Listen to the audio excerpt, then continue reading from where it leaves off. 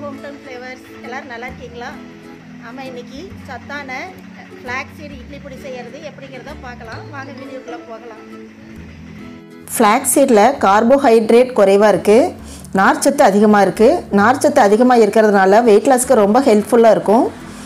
இதில் omega three இருக்குது கெட்ட கொழுப்பெல்லாம் கரைக்கும். அதனால தான் பக்கவாதம் வர்றது ஹார்ட் ப்ராப்ளம்லாம் சரி பண்ணும். முக்கியமாக கேன்சர் வர்றதை தடுக்கும். நிறைய பலன்கள் இருக்குது அதனால் நாம் நம்ம ஃபுட்டில் சேர்த்திக்கிறது ரொம்ப நல்லது உடம்புக்கு. வாங்க இப்போ வீடியோக்குள்ளே போகலாம். எப்படி செய்யலாங்கிறத பார்க்கலாம். இதுக்கு தேவையான பொருட்கள் ஃப்ளாக் சீடு ஃபிஃப்டி கிராம் குண்டு உளுந்து நூறு கிராம் கடலைப்பருப்பு நூறு கிராம் பெருங்காயம் கொஞ்சமாக போட்டுக்கலாம். சீரகம் அரை டேபிள் ஸ்பூன் மிளகு ஒரு இருபது ஒரு டேபிள் ஸ்பூன் கருப்பு எள்ளு வரமிளகா ஒரு பத்து எடுத்திருக்கேன். கல் உப்பு கொஞ்சம் தேவையான அளவு எடுத்துக்கோங்க. ஒரு வானிலையில் எண்ணெய் இல்லாமல் ட்ரையாகவே நம்ம ஃப்ளாக் சீடு ஃபஸ்ட்டு போட்டுக்கலாம். அது நல்லா குறைவான தீயில் நல்லா வறுக்கணும். கலர் சேஞ்ச் ஆகிற அளவுக்கு வறுக்கணும். வெடிக்க ஆரம்பிக்கும். அப்போ நம்ம எடுத்துடலாம். வெடிக்கும் போது பார்த்து செய்யுங்க. குறைவான தீயில வைக்கணும் இல்லைன்னா கருகிடும். இப்போ பாருங்கள் வெடிக்க ஆரம்பிச்சிருச்சு. இந்த டைமில் நாம் இறக்கிடலாம். அடுத்ததாக கொஞ்சமாக எண்ணெய் ஊற்றிக்கலாம் நான் எல்லாமே செக்கு நல்லெண்ணெய் தான் யூஸ் பண்ணுறேன் கடலைப்பருப்பு இப்போ போட்டுக்கலாம். இது நல்லா கோல்டன் கலர் ஆகிற அளவுக்கு நம்ம நல்லா வறுத்துக்கணும். சிம்மில் வச்சு வறுத்தா தான் எந்த பொடியுமே நல்லா டேஸ்ட்டு கொடுக்கும். இப்போ நல்லா வறுத்துக்கங்க. பாருங்கள் நல்லா கலர் சேஞ்ச் ஆகி கோல்டன் கலர் ஆகிடுச்சு கோல்டன் ப்ரௌன் ஆகிடுச்சு இந்த டைம் நம்ம இறக்கிடலாம்.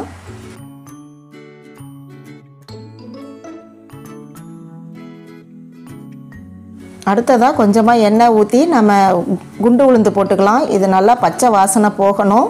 உளுந்து ஸ்மெல் வரும். வறுக்கும் போதே நல்லா இங்கே நல்லா ஸ்மெல் வருது. இது கலர் நல்லா சேஞ்ச் ஆயிடணும். அந்த அளவுக்கு வறுக்கணும். தோல் தோலோட இருக்கிற உடைச்ச உளுந்து கூட நம்ம சேர்த்திக்கலாம். அது நல்லா டிஃப்ரெண்ட்டான டேஸ்ட் கொடுக்கும்.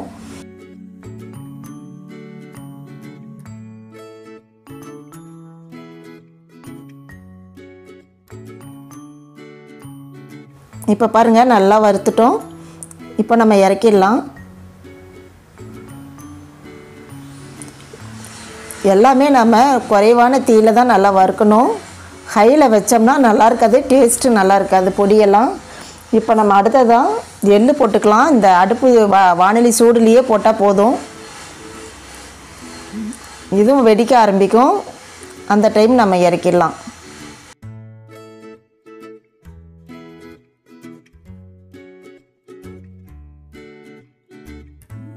இப்போ அடுத்ததாக நம்ம சீரகம் போட்டுக்கலாம். மிளகும் போட்டுக்கலாம்.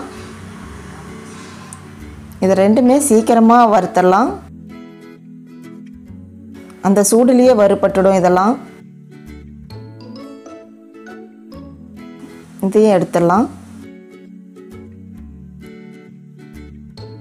அடுத்ததாக இந்த வானொலி சூடுலேயே நம்ம வரமிளகா போட்டுக்கலாம். பதினஞ்சு மிளகா கரெக்டாக இருக்கும். நான் எங்களுக்கு கொஞ்சம் காரம் கம்மியாக வேணும் அப்படிங்கிறதுனால நான் பத்து மிளகா போட்டிருக்கேன். நீங்கள் உங்களுக்கு தேவையானது போட்டுக்கோங்க. கல்லுப்பு போட்டுக்கலாம் இப்போவே. அப்போ காரல் நெடி இருக்காது உப்பு கூடவே நம்ம போட்டுட்டோம்னா இல்லைன்னா இருமல் வரும். இப்போ கல்லுப்பு தான் எந்த வெ- பெருங்காயம் வேணுங்கிறது போட்டுக்கோங்க. கல்லுப்பு தான் எந்த பொடிக்குமே போடணும். அப்போ தான் கெடாது ரொம்ப நாளைக்கு. பொடியில் பூச்சி விழாது. நைஸ் உப்பு போடுறத விட கல் உப்பு தான் பெஸ்ட்டு பொடிங்களுக்கெல்லாம். ரொம்ப நாள் வெளியே வச்சுருக்கலாம். இப்போ அதையும் நம்ம இறக்கிடலாம். முக்கியமானதை சொல்ல மறந்துட்டேன் நான். பூண்டு ஒரு பத்து பூண்டு போட்டிருக்கேன் நான். தோலெல்லாம் உளிச்சிட்டு பூண்டு எடுத்திருக்கேன். அதை கொஞ்சம் இடித்து வச்சுருக்கேன். செக்கு நல்லெண்ணெய் கொஞ்சம் ஊத் ஊற்றிருக்கேன் அதில் வந்து இப்போ இந்த பூண்டு போட்டு நல்லா வதக்கிக்கலாம். அதே வானிலையில் போட்டோம்னா அடி பிடிக்கும். அதனால் இந்த மாதிரி தனியாக நான் வதக்கி எடுத்துக்கிறேன். இந்த மாதிரி செஞ்சீங்கன்னா நல்லா ஃப்ளேவர் வரும். பொடி நல்லா டேஸ்ட்டாக இருக்கும்.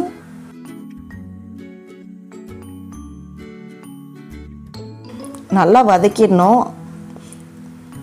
பாருங்கள் இப்போ நல்லா கலர் சேஞ்ச் ஆகிடுச்சு ஆனால் கருக விட்டுடாதீங்க. பார்த்து கரெக்டாக க கலர் சேஞ்ச் ஆகி நல்லா அது வெந்துடணும். அந்த அளவுக்கு நல்லா ரோஸ்ட் ஆனதுக்கப்புறம் நம்ம இறக்கிடலாம். கறிவேப்பிலை போட்டுடுங்க. நல்லா தனியாக வதக்கிட்டு அதோட நம்ம ஆட் பண்ணிக்கலாம்.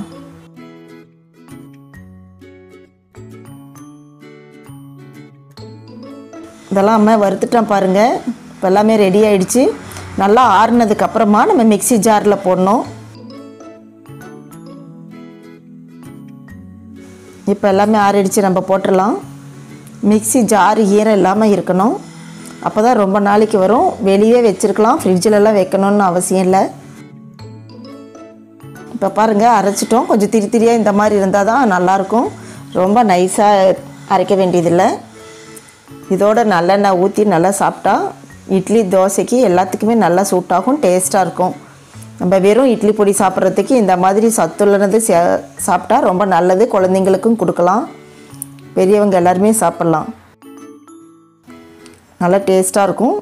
நீங்களும் ட்ரை பண்ணி பாருங்கள் எப்படி வந்ததுன்னு சொல்லுங்கள் கமெண்ட் பாக்ஸில் பிடிச்சிருந்தால் லைக் பண்ணுங்கள் ஃப்ரெண்ட்ஸுக்கெல்லாம் ஷேர் பண்ணுங்கள் ஃபஸ்ட் டைம் பார்க்குறவங்களா இருந்தால் சப்ஸ்கிரைப் பண்ணுங்கள் பக்கத்தில் இருக்கிற பெல் ஐக்கான் கிளிக் பண்ணுங்கள் அப்போ தான் நான் போடுற வீடியோஸ் எல்லாம் உங்களுக்கு நோட்டிஃபிகேஷனில் வரும். Thank you.